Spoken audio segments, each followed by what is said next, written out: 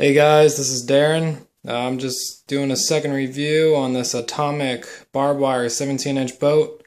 Uh, letting you guys know how much fun I've had with it and also some of the problems I've had with it. Uh, first, start off with the receiver.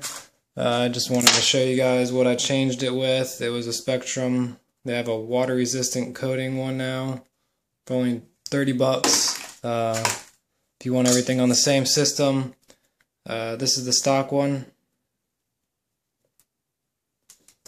And the only other problem I had was the steering servo uh, went out. This is the stock one. It's broke.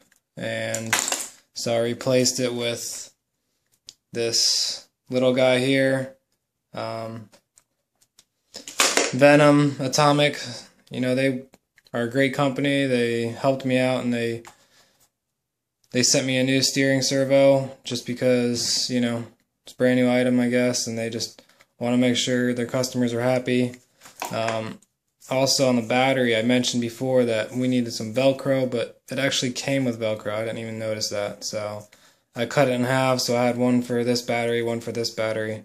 So anyways, um, thought I'd mention that. Uh, also, this cover here, you want to make sure when you put it on that you have this thing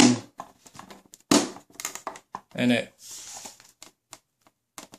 clicks like that because if not, the cover is going to come off like my brother's and you're going to lose it because it doesn't float. It sinks. So if you want it to float, maybe put a piece of foam on the other side of this so this thing floats, but if not, then you're out of luck. Um, also, what I realized and experienced is you need to make sure you have three cell battery that came with it. If you use a two cell, you will not be able to flip this thing back over.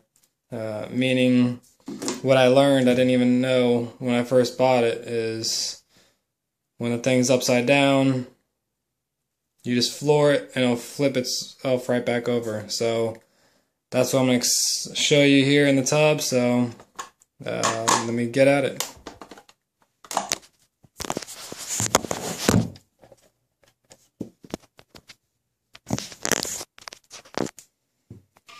Alright.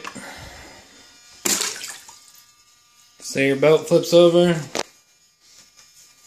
You just hit it wide open.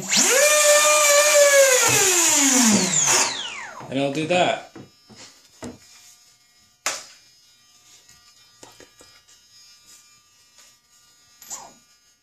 Let me try it again here. There you go. That's what it should do, and that's what it will do. So, anyways, hope you guys like this video. Give it a thumbs up, and uh, let me know what else you guys find out as well. Alright. Later.